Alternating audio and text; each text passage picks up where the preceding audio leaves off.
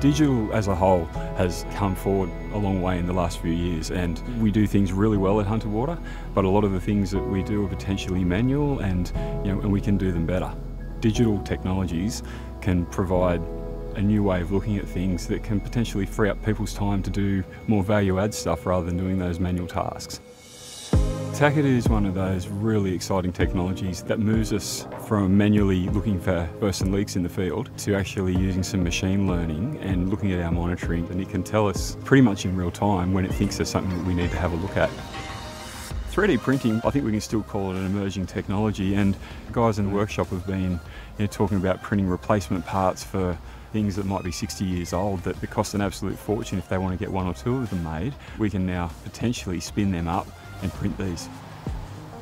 What BIM does is adds a lot more data and, and, things like maintenance history or costings and even time element on how you might put a pump together. BIM can store all that information in a standard format. If someone has to go and fix a pump for a fault, they can actually be in the office or wherever they are on their phone and actually pull the pump apart before they even